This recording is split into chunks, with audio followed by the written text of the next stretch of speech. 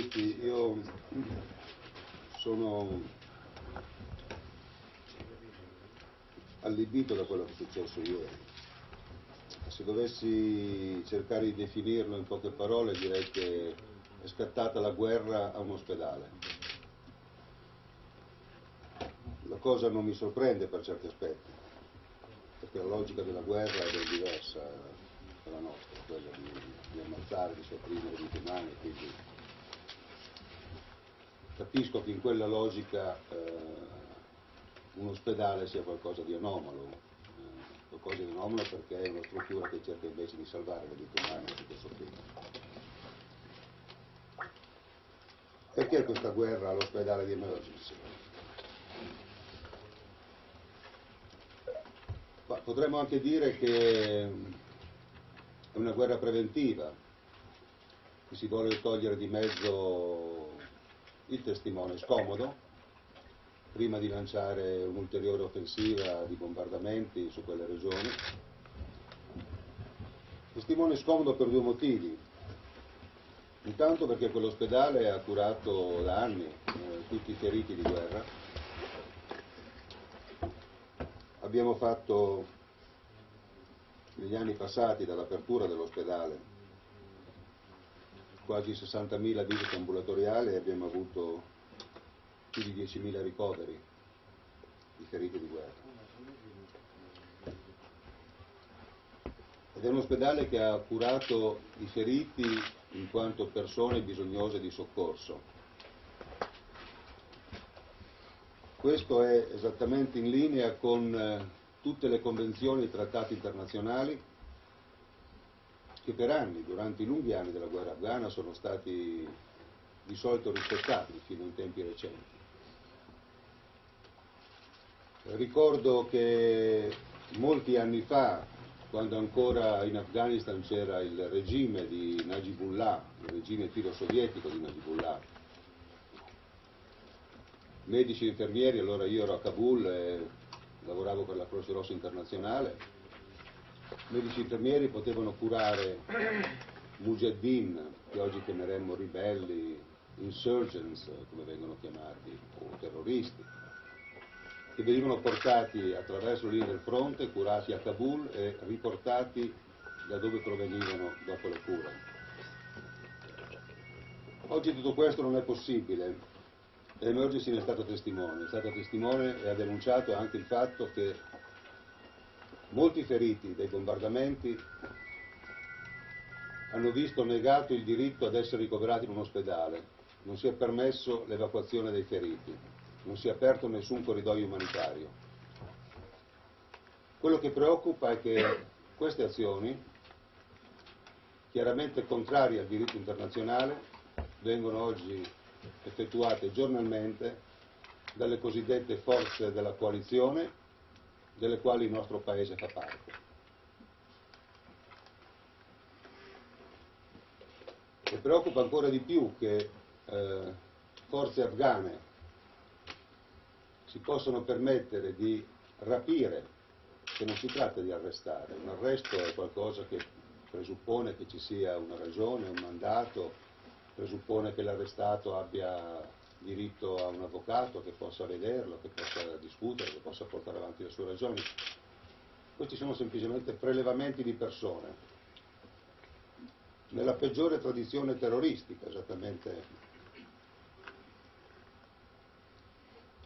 Queste cose vengono fatte da quel governo, il governo Karzai, che le forze della coalizione, tra cui l'Italia, sono lì a difendere.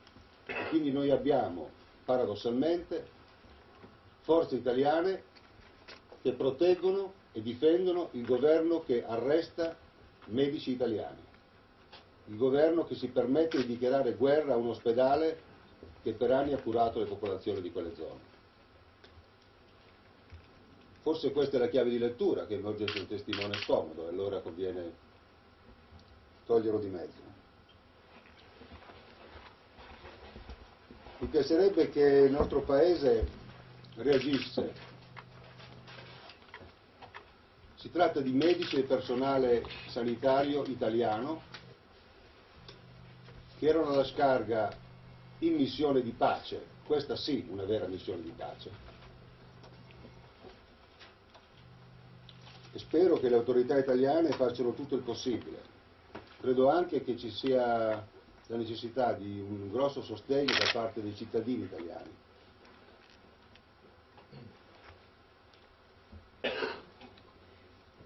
Proprio perché si tratta di una di un'aggressione grottesca e ingiustificata che non trova nessuna spiegazione razionale. Le accuse che sono state formulate, anche se sono molto imprecise, sono semplicemente grottesche. Lo stesso governatore che nel pomeriggio, quasi sera in Afghanistan, in una conferenza stampa dichiara che i nostri medici volevano organizzare un complotto per attentare la sua vita. Bene, lo stesso governatore è quello che contattato da noi per telefono nella tarda mattinata ha dichiarato di essere in viaggio e di non sapere assolutamente nulla di quello che stava succedendo. Quindi c'è dietro una regia questa operazione. Quello che è certo è che c'è il coinvolgimento di forze internazionali, quindi non è un'operazione puramente afghana. Ora io credo che soltanto persone in malafede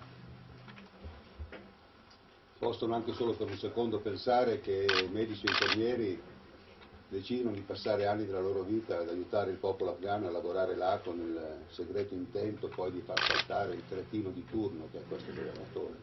Non conta assolutamente nulla eh, è chiaramente una grossa montatura. Nell'ospedale sono state trovate qualche pistola, qualche bomba a mano, anche se no, eh, scotti la testa perché sono trovato altro? No. no, perché sono circolate anche voci che hanno trovato bazooka, sembrava che ancora un po' trovassero anche gli aerei invisibili nell'ospedale. Beh, è chiaro che eh, quando si mette in piedi una montatura così eh, bisogna avere una qualche base d'appoggio, per cui certamente non escludo che nell'ospedale qualcuno abbia potuto introdurre quattro armi da far rinvenire al momento opportuno, ovviamente la perquisizione è avvenuta eh, nel miglior stile eh, in essenza eh, del nostro personale. Eh, avrebbero potuto dirci alla fine che avevano trovato indifferentemente 100 quintali di eroina oppure 10 kg di patate. Non abbiamo la possibilità di verificare.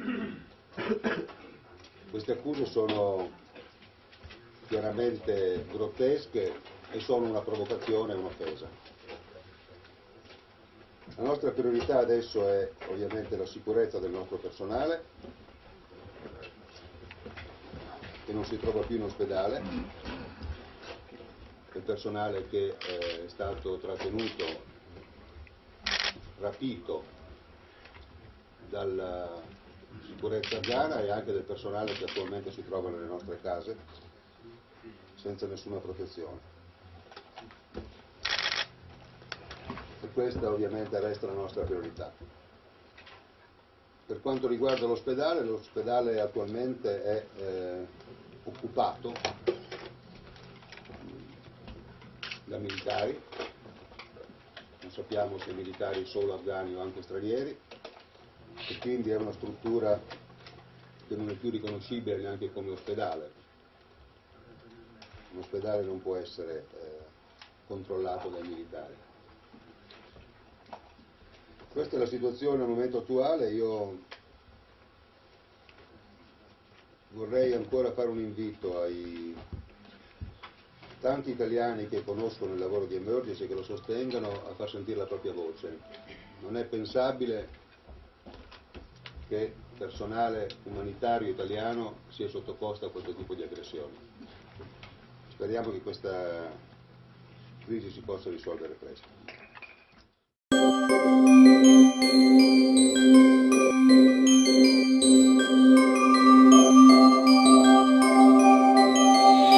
Thank